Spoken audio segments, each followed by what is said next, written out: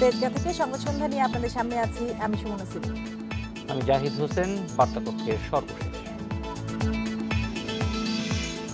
পুরান ঢাকা থেকে গোটা রাজধানীতে ছড়াচ্ছে কেমিক্যাল সতর্কবার্তা র্যাব মহাপরিচালকের।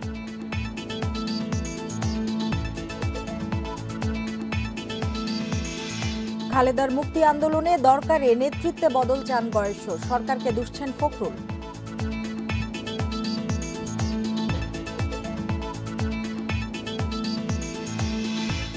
ট্রাফিক সপ্তাহ শেষ হলেও শৃঙ্খলা ফেরেনি রাজপথে। দুই সপ্তাহে উন্নতির প্রতিশ্রুতি ডিএমপি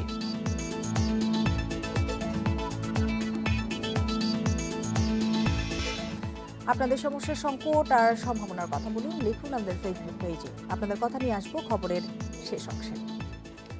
জাহিদ পুরান ঢাকার ব্যবসায়ীরা কেমিক্যাল রাখার জন্য নির্দিষ্ট জায়গা না পেয়ে কিন্তু সেই কেমিক্যালগুলো ঢাকা শহরের বিভিন্ন এলাকায় ছড়িয়ে দিচ্ছেন এবং এতে সতর্ক করেছেন র্যাব মহাপরিচালক যে নতুন বিপত্তি দেখা দিচ্ছে ঝুঁকিতে পড়ছে পুরো রাজধানী। সিমি সমস্যাটা যেটা সেটা হচ্ছে যে যেহেতু অভিযানটা চলছে পুরন ঢাকায় ফলে তারা এখন তাদের সুবিধা মতো যে যেখানে পারছে যে- যেতে চাইছে। কিন্তু সরকার কিন্তু নির্দিষ্ট কিছু জায়গা করে দিয়েছে। সেক্ষেত্রে প্রথমে যেটি দরকার সেটা হচ্ছে যে আসলে কেমিক্যাল কারখানা কত সেটার একটা সুনির্দিষ্ট তালিকা যেন তারা চাইলেই অন্য জায়গায় চলে না যেতে পারে। তবে র্যাব মহাপরিচালক আজকে কারা কনভেনশন সেন্টারে যেটি বলেছেন সেটি খুবই তাৎপর্যপূর্ণ যে এতে সারা শহরে সমাধানের কথাও বলেছেন। তিনি বলেছেন যে উজালা ম্যাচ ফ্যাক্টরি ও ঢাকা ম্যাচ ফ্যাক্টরির জমি ভাড়া নিয়ে আপাতত কেমিক্যাল সরকার ইতিমধ্যে এটা নির্দিষ্ট করে দিয়েছে কিন্তু এটা যাতে ঠিকঠাক মতো বাস্তবায়ন হয় সেদিকে দেখা নজর রাখা দরকার। লেখা সেই বিষয়ে প্রতিবেদন। রাসায়নিকের কারণেই নিমতলি ও চুরিহাট্টায় আগুনে পুড়ে মারা যান দুশো জন। এর জেরে পুরান ঢাকা থেকে কেমিক্যালের গুদাম উচ্ছেদে শুরু হয় জোর অভিযান। তবে এতে নতুন বিপদের শঙ্কা করছেন র্যাব মহাপরিচালক। তিনি বলছেন অভিযানের কারণে পুরান ঢাকার কেমিক্যাল রাজধানীর বিভিন্ন জায়গায় মজুত করছেন ব্যবসায়ীরা।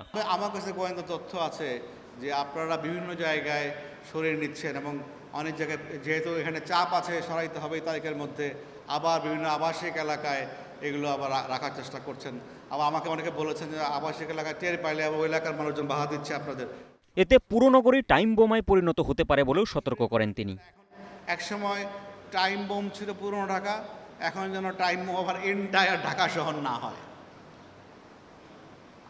আর আমি খবর পাচ্ছি যে বিভিন্ন জায়গায় বিভিন্ন পরিচিত আত্মীয় স্বজন তার বাড়িতে তার গোডাউনে তার বাড়ির পাশে এগুলো রাখার চেষ্টা করা হচ্ছে।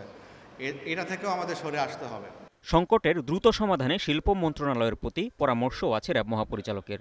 কারণ যদি আপনাকে আপনার এই মুহূর্তে এগুলো রাখার জায়গা না থাকে আপনি কোথায় যাবেন?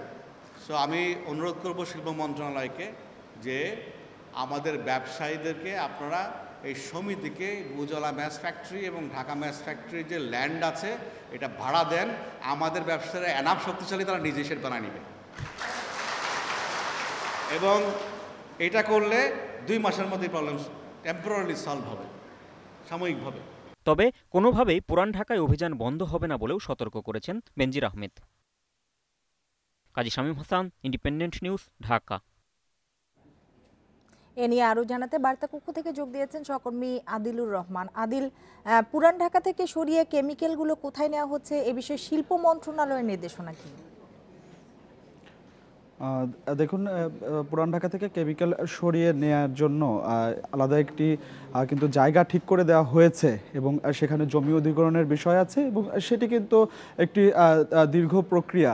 তবে তার আগে এখন যে অভিযানগুলো চলছে, সেই অভিযানে যে অতি ধার্য প্রায় পঁয়ত্রিশটি রাসায়নিক সরিয়ে কোথায় নেওয়া হবে, এজন্য শ্যামপুর, অর্থাৎ কদমতলী, শ্যামপুর এবং টঙ্গিতে প্রায় বারো দশমিক সতেরো একর জায়গা ঠিক করে দেওয়া হয়েছে এবং সেখানে স্টিলের শেড নির্মাণ করা হবে। এবং সেটি নির্মাণ করে সেখানে এই যে রাসায়নিকগুলো আছে, সেগুলো সরিয়ে নেয়ার কথা। কিন্তু আমরা আজকে পর্যন্ত যে তথ্য পেয়েছি, সেই যে দুটি জায়গা, টঙ্গি এবং শ্যামপুর, সেখানে কাজ সেটি শুরু হয়নি। যে কারণে এই যে পুরান ঢাকা থেকে যে কারখানাগুলো বা গুদামগুলো নিষিদ্ধ করা হচ্ছে এবং সেখান থেকে রাসায়নিকগুলো সরিয়ে নেওয়া হচ্ছে, সেটি কিন্তু যে ব্যবসায়ী আছেন, তারা কিন্তু তাদের পছন্দ মতো বিভিন্ন জায়গায় রাখছেন। এবং আমরা বিভিন্ন সময় টাস্ক ফোর্সের যে অভিযানগুলো, সেই অভিযানে গিয়ে যেমনটি দেখতে পেরেছি যে, কারখানাগুলোতে যখন অভিযান পরিচালনা করা হয়, তখন সেখান থেকে তাৎক্ষণিকভাবে সেই রাসায়নিকগুলো সরিয়ে নেওয়া হয়। তবে সেই রাসায়নিকগুলো আসলে কোথায় যাচ্ছে এবং আহ, ব্যবসায়ীরা কোথায় রাখছেন সে বিষয়টি কিন্তু কোনো নজরদারি নেই। আহ, এমন তথ্য কিন্তু আমি টাস্ক ফোর্সের বেশ কয়েকজন কর্মকর্তার সাথে কথা বলে কিন্তু আদিলুর যেইটা মূল সমস্যা সেটা হচ্ছে দাহ্য পদার্থ। দাহ্য পদার্থর ব্যবসা কারা কারা করছে, কোথায় কোথায় এরা রাখা হচ্ছে, এই ব্যাপারে বিস্ফোরক অধিদপ্তর, শিল্প মন্ত্রণালয় এবং সংশ্লিষ্ট যে সরকারি অফিসগুলি আছে, তারা কোনো ধরনের তথ্য রাখছে কিনা? কারণ এই তথ্যগুলি না থাকলে পরে কালকে আপনি গিয়ে তাদেরকে পাবেন না। দেখুন বিস্ফোরক পরিদপ্তর ঢাকা দক্ষিণ সিটি কর্পোরেশন, শিল্প মন্ত্রণালয়, এই সংস্থাগুলোর সমন্বয়ে কিন্তু টাস্কফোর্সটি গঠন করা হয়েছে এবং এই মুহূর্তে এই সংস্থাগুলো মূলত জোর দিচ্ছে পুরান ঢাকা থেকে রাসায়নিকগুলো সরিয়ে যাতে দ্রুত সরিয়ে নেওয়া হয় সেই বিষয়টির উপরে। কিছুক্ষণ আগে দক্ষিণ সিটি কর্পোরেশনের প্রধান নির্বাহী কর্মকর্তা তার সাথে আমার কথা হয়েছে। তিনি আমাদেরকে যেমনটি বলছেন যে এই রাসায়নিকগুলো এই মুহূর্তে কোথায় রাখা হয়েছে এবং কোথায় সরিয়ে নেওয়া হচ্ছে সেই বিষয়ে তথ্য কিন্তু প্রধান নির্বাহীর কাছে নেই।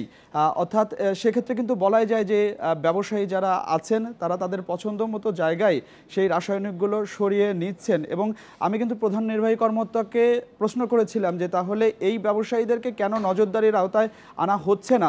তবে এই বিষয়টি নিয়ে কিন্তু তিনি স্পষ্ট কোনো জবাব আমাদেরকে দিতে পারেননি এবং যে আশঙ্কাটি আজকে র্যাবের মহাপরিচালক করেছেন যে, অন্যান্য জায়গায়, অন্যান্য আবাসিক এলাকায় এই রাসায়নিকগুলো যদি ছড়িয়ে পড়ে তাহলে আবারও ওয়াহিদ মেনশনের মতো কোনো একটা ঘটনা ঘটার যে আশঙ্কা সেটি কিন্তু থেকেই যাচ্ছে। কারণ রাসায়নিক, এই রাসায়নিকগুলো যখন কোনো ভবনে থাকবে, তখন এই রাসায়নিকগুলো লিক হতে পারে এবং সেটি বাতাসের সাথে মিশলে, যেমন ওয়াহিদ মেনশনটি বোমায় পরিণত হয়েছিল, সেটি কিন্তু অন্য কোথাও হতে পারে এবং আবারও কিন্তু প্রাণহানির যে আশঙ্কা, সেটি কিন্তু রয়ে গেছে। অর্থাৎ এই যে রাসায়নিক অপসারণের যে বিষয়টি এটিতে কিন্তু এক ধরনের যে গড়িমসি, সেটি কিন্তু আমরা লক্ষ্য করছি।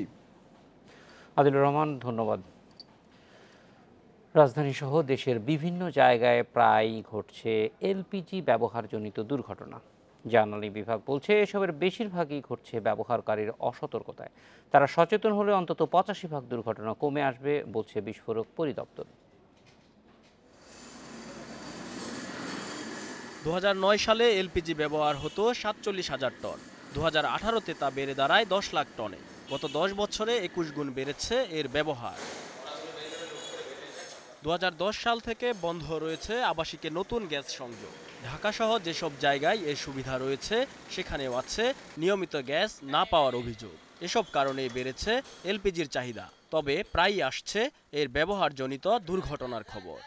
আমরা ইনভেস্টিগেট করে যেটা দেখেছি, যারা সিলিন্ডার ইউজ করেন হ্যান্ডেল করেন, তাদের কিছু নিয়মকানুন না জানা এবং অনেক ক্ষেত্রে একটু অসতর্কতা এটার মূল কারণ। দুর্ঘটনা ঠেকাতে রান্না শেষে বন্ধ রাখতে হবে চুলা ও সিলিন্ডারের রেগুলেটরের সুইচ। রান্নাঘরের জানালা রাখতে হবে খোলা। দরজা বন্ধ থাকলে তা খুলে দিয়ে চুলা জ্বালাতে হবে কিছুক্ষণ পর। তবে এসব নিয়ম মানছেন না বেশিরভাগ ব্যবহারকারী। চুলার সুইচের পাশাপাশি রেগুলেটরের সুইচও বন্ধ করতে হয় সেটা কি আপনি জানেন? না সেটা তো আমার জানা নেই। সব সময় আমি জ্বালানো অফ করে রান্না করি। বাতাস আসে যার কারণে চুলা নিভা যায় কারণ চুলা গ্যাস অফ করিনি জ্বালানো অফ করিনি। এসব বিষয় বিবেচনায় রেখে এলপিজির সঠিক ব্যবহার নিশ্চিতে গত তিন মাস ধরে প্রচার চালাচ্ছে বাজারজাতকারী প্রতিষ্ঠান ও জ্বালানি বিভাগ। ত্রুটিপূর্ণতার জন্য হচ্ছে না। কোনো সিলিন্ডারের মান খারাপের জন্য হচ্ছে না।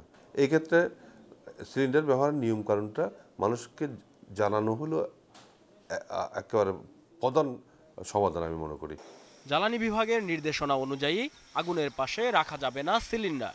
চুলা রাখতে হবে সিলিন্ডার থেকে অন্তত ছয় ইঞ্চি উপরে। বাড়তি গ্যাস পেতে তাপ দেয়া যাবে না সিলিন্ডারে। নিয়মিত পাল্টাতে হবে গ্যাসের পাইপ, রেগুলেটর সহ অন্যান্য যন্ত্রাংশ। Shariful Islam, Independent News, Dhaka. প্রধানমন্ত্রী শেখ হাসিনাকে ডাকসুর আজীবন সদস্য পদ দেওয়ার সিদ্ধান্ত নেওয়া হয়েছে। দুপুরে ডাকসু নবনির্বাচিত কার্যকরী পরিষদের প্রথম সভায় এ প্রস্তাব পাশ হয়। তবে সভায় এ প্রস্তাব তোলা হলে এর বিপক্ষে মত নেন ভিপি নুরুল হক নূর। প্রথম কার্যনির্বাহী কমিটির বৈঠকের মধ্য দিয়ে দীর্ঘ আঠাশ বছর পর কার্যকর হল ডাকসু। সকাল এগারোটা থেকে আড়াই ঘণ্টা ব্যাপী চলে এ বৈঠক। বৈঠকে ডাকসুর ভিপি, জিএস সহ নির্বাচিত পঁচিশ প্রতিনিধি অংশ নেয়। বৈঠকে প্রধানমন্ত্রী শেখ হাসিনাকে ডাকসুর আজীবন সদস্যপদ দেওয়ার প্রস্তাব তুললে ভিপি নুরুল হক নূর তাতে আপত্তি দেয়। তিনি অভিযোগ করেন, এই কারচুপির নির্বাচনে প্রধানমন্ত্রীকে আজীবন সদস্যপদ দেয়া হলে সেটিতে তার মর্যাদাহানি হবে। এই নির্বাচনটি সকলের কাছে সার্বজনীনভাবে গ্রহণযোগ্য হয়নি এবং আমাদের কাছে মনে হয়েছে যেহেতু শিক্ষার্থীদের বড় একটি অংশ এই নির্বাচনকে প্রশ্নবিদ্ধ হিসেবে চিহ্নিত করেছে, বিতর্কিত নির্বাচনে আমরা চাই না মাননীয় প্রধানমন্ত্রীকে আজীবন সদস্য ঘোষণা করা হোক। তবে বাকি চব্বিশ জন সদস্য এ প্রস্তাবে সায় দেয় সেটি পাশ হয়। অযৌক্তিক কারণ দেখিয়ে ভিপি এর বিরোধিতা করেছে বলে অভিযোগ জিএস গোলাম রব্বানির। যে একটি কারচুপির কথা বলেছে বা অনেক কথা বলেছে সেটা বলে তারা ক্লাস পরীক্ষা বর্জনের ঘোষণা দিয়েছিল। সেটা কিন্তু শিক্ষার্থীরা সারা দেয়নি। কোথাও কোথাও ক্লাস পরীক্ষা বর্জন হয়নি। এদিকে বৈঠক চলার সময়ে ক্যাম্পাসে পুনর্নির্বাচনের দাবিতে বিক্ষোভ কর্মসূচি পালন করে ছাত্রদল, প্রগতিশীল ছাত্রজোট সহ বেশ কয়েকটি সংগঠনের নেতাকর্মীরা। বৈঠক শেষে উপাচার্য জানান, নির্বাচিত প্রতিনিধিদের নিয়ে এক বছরের কর্মপন্থা ঠিক করেছেন তারা। ক্যাম্পাসে রিক্সা ভাড়া নির্ধারণ রিক্সা এবং সাইকেল চলাচলের আলাদা লেন তৈরির প্রস্তাবও পাশ হয়। বিশেষ করে ধন্যবাদ দেই আমাদের এই বিশ্ববিদ্যালয়ের শিক্ষার্থীদের, যাদের এই মূল্যবোধ, যারা গণতান্ত্রিক মূল্যবোধে একেবারেই আস্থাশীল ছিলেন এবং একটি শান্তিপূর্ণ সহাবস্থান বজায় রেখে একটি বড় নির্বাচন তারা আয়োজন করতে সক্ষম হয়েছে, সব ধরনের সহযোগিতা প্রদান করেছে। বৈঠক শেষে নির্বাচিত প্রতিনিধিরা ধানমন্ডি বত্রিশ নম্বরে বঙ্গবন্ধু শেখ মুজিবুর রহমানের প্রতিকৃতিতে ফুল দিয়ে শ্রদ্ধা জানান। Noore Alam, Independent News, Dhaka. কারাগারে আদালত বসিয়ে খালেদা জিয়ার বিচারকে ক্যামেরা ট্রায়াল বলছে বিএনপি মহাসচিব মির্জা ফখরুল ইসলাম আলমগীর। এর উদ্দেশ্য রাজনৈতিক বলেও দাবি তার। এদিকে প্রয়োজনে নেতৃত্ব বদল করে চেয়ারপারসনের মুক্তির আন্দোলনে নামা উচিত বলে মনে করেন গয়েশ্বর চন্দ্র রায়। এক বছরেরও বেশি সময় ধরে কারাগারে আছেন বিএনপি চেয়ারপারসন। তার মুক্তি চেয়ে নয়াপল্টন কার্যালয়ে প্রতীকী অনশন, নবাবগঞ্জ ও দোহার উপজেলা বিএনপির। এ সময় চেয়ারপারসনের মুক্তিকে প্রধান ইস্যু করে আন্দোলনে নামার দাবি জানান স্থায়ী কমিটির সদস্য গয়েশ্বরচন্দ্র রায়। যত দ্রুত সম্ভব প্রয়োজনে নেতৃত্বের বদলের মধ্য দিয়ে সঠিক এবং সক্রিয় নেতৃত্ব জনগণের সামনে উপস্থিত করতে হবে এবং যথাযথ আন্দোলন সংগ্রামের মধ্য দিয়ে নেত্রীর মুক্তি এবং গণতন্ত্রের মুক্তি ত্বরান্বিত করবে। পরে মহাসচিব অভিযোগ করেন আদালতকে প্রভাবিত করে খালেদা জিয়াকে কারাগারে রেখেছে সরকার। একটা পরিত্যক্ত কারাগারে তাকে রেখেছে এবং ওইখানেই আদালত বসিয়েছে। যা কোনো সভ্য গণতান্ত্রিক দেশে চলতে পারে না। আমরা মনে করি এটা একটা ক্যামেরা ট্রায়াল হচ্ছে। এর আগে জাতীয় প্রেস ক্লাবে কবি আল মাহমুদের স্মরণ সভায় মির্জা ফখরুল ইসলাম আলমগীর বলেন দেশে একদলীয় শাসন কায়েম করা হয়েছে। আপনার ছদ্মবেশ ধারণ করে মানুষকে বিভ্রান্ত করে প্রতারণা করে আপনার একদলীয় শাসন ব্যবস্থা পুরোপুরি বসানো হচ্ছে। চলমান রাজনৈতিক প্রেক্ষাপটে নেতাকর্মীদের হতাশ না হওয়ার পরামর্শ দিয়ে আন্দোলনের প্রস্তুতি নেওয়ার আহ্বানও জানান বিএনপি মহাসচিব। আমরা জয়ী হবই। Mahmud Sharif Independent News Dhaka. সড়ক দুর্ঘটনায় তিন জেলায় নিহত হয়েছেন পাঁচজন।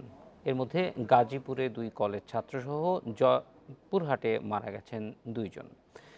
পুলিশ জানায়, গাজীপুর চৌরাস্তার লিঙ্কন কলেজের তিন ছাত্র মোটরসাইকেলে ময়মনসিংহের দিকে যাচ্ছিলেন। কনকর টাওয়ারের সামনে পৌঁছালে উল্টো পথে আসা রিকশার সঙ্গে তাদের সংঘর্ষ হয়। এ সময় দ্রুতগামী বাসের নিচে চাপা পড়ে মারা যান জুম্মান হোসেন নাসির। আহতদের ঢাকা মেডিকেলে নেওয়ার পর মারা যায় রবিন নামে আরও একজন। এদিকে জয়পুরহাটে বিদ্যি গ্রামে দুটি মোটর সাইকেলের সংঘর্ষে মারা গেছেন দুইজন। নিহতরা হলেন দিনাজপুরের গ্রামের মাহফুজা হোসেন ও পানিয়াল গ্রামের তবিবুর রহমান। এ ঘটনায় আহত একজনকে হাসপাতালে ভর্তি করা হয়েছে। এছাড়া চাপাই নবাবগঞ্জের শিবগঞ্জে ট্রাক চাপায় মারা গেছেন মনিরুল ইসলাম মিনু নামের একজন। দিনে গড়ে পাঁচ হাজার মামলা দিয়ে শেষ হলো আরও একটি ট্রাফিক সপ্তাহ। তারপরও একই আছে সড়কের চিত্র। মানসিকতার বদল হয়নি চালকের ফুট ওভার ব্রিজে উঠছে না পথচারী। তবে ডিএমপি কমিশনার আছাদুজ্জামান মিয়া জানিয়েছেন দু এক সপ্তাহের মধ্যেই সড়কে পরিবর্তন দেখা যাবে। তানজিল পরিবহন। মামলা হয় চালকের ড্রাইভিং লাইসেন্স সহ গাড়ির কাগজপত্র পুলিশের কাছে। তারপরও সড়কে চলছে বাসটি। আজকে সকাল থেকে পর্যন্ত স্যার দুইবার রেকার বিল দিয়েছে এখন নিয়ে বন্ধ করে দিন। নিয়ত করে চলে যেতেছি স্যার সব গাড়ি দুই মাথায় বন্ধ। একাধিক মামলা নেই এমন গাড়ি রাজধানীতে বিরল। পাঁচ থেকে দশটি মামলা নিয়েও চলছে কোনো কোনো গাড়ি। কোনোটির রুট পারমিট নেই বা হালকা যানের চালক চালাচ্ছেন ভারী যানবাহন। তবে এসব ঘটনাকে অপরাধ মনে করেন না চালক মালিকেরা। মামলা করানোর দরকার তার টার্গেট পুরো করানোর দরকার। তখন থামায় অপরাধ করলে বড় মামলা করে। আর যদি মনে করে আমার টার্গেট তাহলে আমরা বুঝি হেরা দুশো টাকার মামলা। যদি আমি কোনো কিছু করি তাহলে তো আমার অমিয়ন আমি তো অমিয়ন করি না তো আমি তো বলি। সড়কে শৃঙ্খলার কথা উঠলেই শুরু হয় অভিযান। তবে এতে খুব একটা পরিবর্তন আসে না। ফিটনেসের সমস্যা কিছু কিছু গাড়ির ক্ষেত্রে আমরা রুট পারমিটের সমস্যা পেয়েছি। কিছু কিছু ক্ষেত্রে চালকদের ক্ষেত্রে আমরা সমস্যা পেয়েছি। চালকের লাইসেন্সের কিছু অ্যানোমেলি ছিল। ট্রাফিক শৃঙ্খলা সপ্তাহ উপলক্ষে? ফিটনেসবিহীন গাড়ি এখন কমে যাচ্ছে মূলত আমাদের এই তৎপরতার কারণে। আমরা তৎপরতা এটা কন্টিনিউ করব। চালক মালিকের পাশাপাশি সচেতন হচ্ছেন না পথচারীরাও। ফুট ওভারব্রিজ রেখে গাড়ি থামিয়ে সড়ক পারাপারের দেখা এখনও মিলছে। ভুলটা আমাদের সেটা ঠিক আছে আসলে তা- তাড়াতাড়ির জন্য আর কি পার হয় আর না হলে তো এখানেই পার হয় বেশিরভাগই। আসলে আমি গাড়ি থেকে ওই পাশে নামছি আমার এই পাশে কাজ আমি একটু হসপিটাল যাব এই জন্য। তাড়াতাড়ি যাওয়ার জন্যই তো হয় ওদিকে উঠতে গেলে এখন অনেক লেট হয়ে যায়। ট্রাফিক সপ্তাহ শেষ দিনে গড়ে পাঁচ হাজার মামলার তথ্য দিয়েছে পুলিশ। ডিএমপি কমিশনার জানিয়েছেন দু এক সপ্তাহের মধ্যেই দৃশ্যমান হবে সড়কের পরিবর্তন। স্টপ লাইন বরাবরে না দাঁড়ায় জেব্রা ক্রসিং এ না দাঁড়ায় মডেল আউট গাড়ি চালায় ফিটনেসবিহীন গাড়ি চালায়, লাইসেন্স ছাড়া গাড়ি চালায়, তাদের বিরুদ্ধে ইনশাল্লাহ কঠোর আইনের ব্যবস্থা গ্রহণ করব। ট্রাফিক শৃঙ্খলায় রোববার থেকে সাত দিন পুলিশের বিশেষ টিম মাঠে নামছে বলেও জানান ডিএমপি কমিশনার। তাদের সঙ্গে অভিযানে থাকছে ঢাকা উত্তর city কর্পোরেশনও। Adilur Rahman, Independent News, Dhaka. পরিবহন শ্রমিক, নেতা ও প্রশাসনের গাফিলতির কারণেই সড়কে নৈরাজ্য থামছে না বলে মন্তব্য করেছেন চোদ্দ দলের মুখপাত্র মোহাম্মদ নাসিম। দুপুরে জাতীয় প্রেস ক্লাবে আলোচনা সভায় এ মন্তব্য করেন তিনি। মোহাম্মদ নাসিম বলেন, শৃঙ্খলা ফেরাতে পুলিশকে আরও তৎপর হতে হবে। একটা জীবনের কি দশ লক্ষ টাকা? বিক্রি হয়ে যাবে। তরুণ মারা যাচ্ছেন, গৃহবধূ মারা যাচ্ছেন সাদা মানুষ মারা যাচ্ছে সড়কে। কেন হবে না এই ব্যবস্থাপনা সঠিক হবে না বলেন? যারা এই ব্যাপারে কাজ করে, তারা সবাই রেসপন্সিবলের জন্য। সরকারের ব্যর্থতায় সড়কে শৃঙ্খলা ফিরছে না বলে দাবি করেছেন গণফোরাম সভাপতি ডক্টর কামাল হোসেন। শৃঙ্খলা ফেরাতে চোদ্দ দফা প্রস্তাবও দেয়া হয় গণফোরামের পক্ষ থেকে। শনিবার বিকেলে জাতীয় প্রেস ক্লাবে সংবাদ সম্মেলনে কামাল হোসেন দাবি করেন, সংশ্লিষ্ট কর্মকর্তারা সড়ক দুর্ঘটনা রোধে কার্যকর কোনো পদক্ষেপ নিচ্ছে না। গণপরিবহনে যে নৈরাজ্য চলছে, এর দায় বিআরটিএ এড়াতে পারে না। সড়কে শৃঙ্খলা ফেরাতে সরকারকে আরও আন্তরিক হওয়ার পরামর্শ দেন তিনি। এ সময় গণপরিবহন ব্যবস্থাকে রাজনৈতিক প্রভাবমুক্ত করা, দোষী চালক ও মালিকের শাস্তি নিশ্চিত করা গণপরিবহনে চাঁদাবাজি বন্ধ সহ গণফোরামের পক্ষ থেকে চোদ্দ দফা প্রস্তাব তুলে ধরা হয়। পুলিশ যদি অন্যভাবে প্রভাবান্বিত হয়, তাদেরকে অন্যভাবে কেউ দুর্বল করে ফেলে, তখন সে আইনের শাসন থেকে সরে গিয়ে যে অরাজকতা এখন দেখেন রাস্তাঘাটে সেইগুলো ঘটে এবং সেই বিশৃঙ্খলা থাকার কারণে এই যে রাস্তায় এলেই বুঝতে পারেন যে কীভাবে বিশৃঙ্খলা থাকে। দশ দিন আগে মিলবে আবহাওয়ার পূর্বাভাস। দুর্যোগের তথ্য জানতে অন্য দেশের উপর আর নির্ভরশীলও থাকতে হবে না। উচ্চ ক্ষমতা সম্পন্ন এক কম্পিউটারের মাধ্যমে এখন থেকে স্বচ্ছ ছবি পাওয়া যাবে। সারা দেশে নির্মাণ করা হচ্ছে দুইশোটি আবহাওয়া পর্যবেক্ষণাগার। আন্তর্জাতিক আবহাওয়া দিবস উপলক্ষে এক আলোচনা সভায় এ তথ্য দিয়েছেন প্রতিরক্ষা মন্ত্রণালয় ও আবহাওয়া অধিদপ্তর। আবহাওয়া অধিদপ্তরের পুরাতন ভবনের তৃতীয় তলায় এটি পিসি ক্লাস্টার সিস্টেম বা উচ্চ ক্ষমতা সম্পন্ন এক কম্পিউটার। এই যন্ত্রের দুশো চব্বিশটি কোরের মাধ্যমে উপগ্রহ থেকে আবহাওয়ার বার্তা পাওয়া যায়। প্রায় ছশো টেরাবাইটের মেমোরির এই কম্পিউটার থেকে আগের তুলনায় স্বচ্ছ ছবি পাচ্ছে আবহাওয়া অফিস।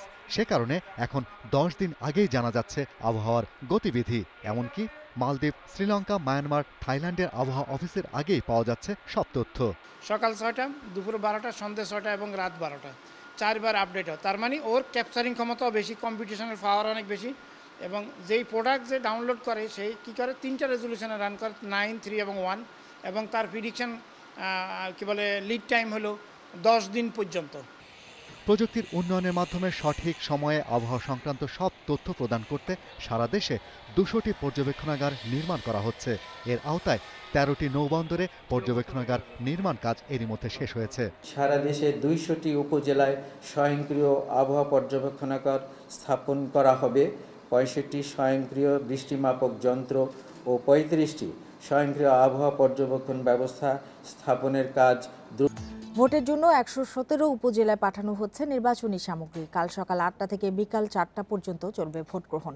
শান্তিপূর্ণ পরিবেশে ভোটের সব প্রস্তুতি শেষ করেছে নির্বাচন কমিশন। নির্বাচনী এলাকায় টহলে আছে আইনশৃঙ্খলা বাহিনী। প্রতিটি উপজেলা নির্বাচন কার্যালয় থেকে বিভিন্ন কেন্দ্রের ব্যালট পেপার বাক্স সিলসহ বিভিন্ন সামগ্রী বিতরণ করা হয়। আইন শৃঙ্খলা বাহিনীর সহযোগিতায় সেগুলো কেন্দ্রে নিয়ে যান প্রিজাইডিং কর্মকর্তারা। নির্বাচন কর্মকর্তারা বলছেন সুষ্ঠু ভোট গ্রহণে নেওয়া হয়েছে সব প্রস্তুতি। ইলেকশন কমিশনের যে নির্দেশনা রয়েছে। অবাধ সুষ্ঠু নিরপেক্ষ করার জন্য যে আমাদের অঙ্গীকারবদ্ধ আমরা সে লক্ষ্যে আমরা এগিয়ে যাচ্ছি এবং আশা করি চব্বিশ তারিখে আমরা অবাধ সুষ্ঠু গ্রহণযোগ্য একটি ইলেকশন আমরা নগরবাসীকে উপহার দিতে পারব। বরিশাল সদর উপজেলার আটষট্টি সাতষট্টিটা কেন্দ্রে নির্বাচন অনুষ্ঠিত হবে। ইতিমধ্যে আমরা নির্বাচনের সকল প্রস্তুতি সম্পন্ন করেছি। নির্বাচনী এলাকায় যানবাহন চলাচলে আরোপ করা হয়েছে বিধিনিষেধ। টহল শুরু করেছে বিজিবি র্যাব ও পুলিশ। এছাড়া তাৎক্ষণিক ব্যবস্থা নিতে থাকছে ভ্রাম্যমাণ আদালত। নির্বাহী ম্যাজিস্ট্রেটের আন্ডারে পুলিশ থাকবে যারা আচরণবিধি সহ নির্বাচনী যে সমস্ত নিয়ম নীতি আছে সেগুলো যদি ভায়োলেশন হয় তারা ব্যবস্থা নেবে। রোবাস্ট এবং কনফিডেন্স বিল্ডিং পেট্রোল এবং স্ট্রাইকিং রিজার্ভের মাধ্যমে প্রতিটি এলাকায় ভোটারদেরকে আশ্বস্ত করা হবে যাতে করে প্রতিটি ভোটার অবাধে ভোট কেন্দ্রে গিয়ে ভোটাধিকার প্রয়োগ করে আবার বাড়িতে ফিরে আসতে পারে। তৃতীয় ধাপে রংপুর গোপালগঞ্জ মানিকগঞ্জ ও মেহেরপুরের সদর উপজেলায় ভোট নেওয়া হবে ইভিএমে এই চার উপজেলার কেন্দ্রে পাঠানো হয়েছে ইলেকট্রনিক ভোটিং যন্ত্র। Mostafizur Rahman, Independent News desk. Asian zonal championship দাবায় পুরুষ বিভাগে শিরোপা জিতেছে FIDE master Fahad Rahman. Champion হওয়ার সেপ্টেম্বরে রাশিয়ায় অনুষ্ঠিত দাবা বিশ্বকাপে অংশগ্রহণ নিশ্চিত হলো ফাহাদের। নবম রাউন্ডে মেহেদি হাসান পরাগকে হারিয়ে শিরোপা নিশ্চিত করেন ফাহাদ। টুর্নামেন্টে ফাহাদের অর্জন সাত পয়েন্ট। এর আগে অষ্টম রাউন্ডে গ্র্যান্ডমাস্টার রাকিবকে হারান ফাহাদ। এই জয়ের ফলে আন্তর্জাতিক মাস্টারের টাইটেল নম অর্জন করেছেন ফাহাদ। নয় সেপ্টেম্বর থেকে দুই অক্টোবর রাশিয়ায় বসবে দাবার বিশ্বকাপ। অংশ নেবে সারা বিশ্বের একশো আঠাশ জন দাবাড়ু। বিপিএলে ইঞ্জুরিতে পড়েছিলেন। দীর্ঘ সময় পর মাঠে ফিরেছেন তাসকিন আহমেদ। শুরু করেছেন রানিং ও ফিটনেসের কাজ। টানা কয়েকদিন চলবে এই অনুশীলন। অবস্থার উন্নতি বুঝে বোলিং শুরু করবে টাইগার তারকা। মেডিকেল টিমের পরামর্শ আর সবুজ সংকেত পেলেই ফিরবেন ঢাকা প্রিমিয়ার লিগে। তবে সুপার লিগের আগে মাঠে ফেরা হচ্ছে না অনেকটা নিশ্চিত। সুপার লিগেও খেলতে না পারলে আয়ারল্যান্ডে ত্রিদেশীয় সিরিজ নিয়ে ফিরতে মরিয়া পেস স্টার বলছেন, বিশ্বকাপে খেলার জন্য সর্বোচ্চ চেষ্টা করে যাবেন। এদিকে পিঠের ইঞ্জুরি থেকে সেরে উঠেছেন অলরাউন্ডার সাইফুদ্দিন। শুরু করেছেন ব্যাটিং অনুশীলন। প্রিমিয়ার লিগে দ্রুত ফিরবেন জানিয়েছেন এই অলরাউন্ডার। আমি জানি না যে কালকে সকালে ঘুম থেকে উঠে কি হবে। তো অত লম্বা আমি চিন্তা করতেছি না। আমি এখন মেন প্রায়োরিটি দিচ্ছি হান্ড্রেড পার্সেন্ট ফিট হয়ে ওয়ার্ল্ড কাপের সুযোগ পাওয়ার।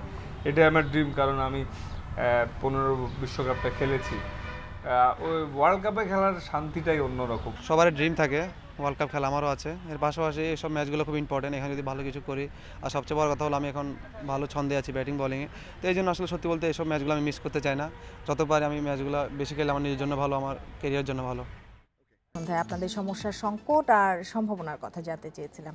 সুজন মাহমুদ জোবায়ের নেত্রকোনা থেকে তিনি বলছেন, নেত্রকোনা জেলার খালিয়াজুড়ি উপজেলার রাস্তাঘাট তেমন উন্নত নয়। অনুন্নত যোগাযোগ ব্যবস্থার কারণে নানামুখী সমস্যার সম্মুখীন হতে হচ্ছে। এতে করে নারী ও শিশুরা বেশি ক্ষতিগ্রস্ত হচ্ছেন। এ ব্যাপারে কর্তৃপক্ষের দৃষ্টি আকর্ষণ করেছেন তিনি। তানবীর তামিম ময়মনসিংহ থেকে বলছেন, ময়মনসিংহের ঈশ্বরগঞ্জ উপজেলার বড়হিত ইউনিয়ন পরিষদের চেয়ারম্যানের দেখা পাওয়া দুষ্কর। দুই থেকে তিন মাস পর পর ইউনিয়নে আসেন, কোনো জরুরি কাজে তাকে পাওয়া যায় না। এ ব্যাপারে ইন্ডিপেন্ডেন্ট টেলিভিশনের মাধ্যমে প্রতিকার চেয়েছেন তিনি। অন্তরা বেগম, ঢাকা থেকে বলছেন তিনি, রাজধানীর ফার্মগেট থেকে গুলশানগামী লেগুনা স্ট্যান্ডের পাশে উন্মুক্ত স্থানে ময়লা আবর্জনা ফেলা হচ্ছে। এতে করে যেমন পরিবেশ দূষিত হচ্ছে, তেমনি পথচারীদের নানা রকম সমস্যা হচ্ছে।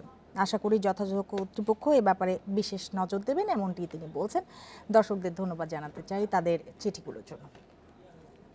শেষ করব সংবাদ শুনে তার আগে শিরোনামগুলো জানাচ্ছি আর একবার পুরান ঢাকা থেকে গোটা রাজধানীতে ছড়াচ্ছে কেমিক্যাল সতর্কবার্তা র্যাব মহাপরিচালকের। খালেদার মুক্তি আন্দোলনে দরকারে নেতৃত্বে বদল চান কয়েকশো সরকারকে দুষছেন ফখরুল। ট্রাফিক সপ্তাহ শেষ হলেও শৃঙ্খলা ফেরেনি রাজপথে। দুই সপ্তাহে উন্নতির প্রতিশ্রুতি ডিএমপি। এই ছিল আজকের সংবাদ